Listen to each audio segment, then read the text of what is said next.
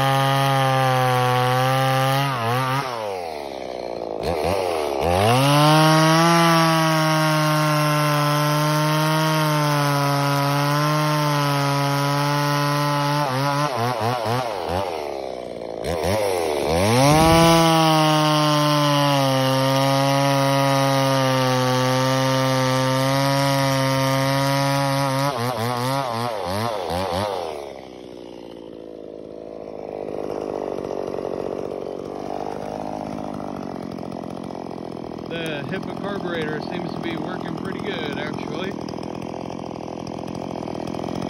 Got some stuff fucked up, got some more.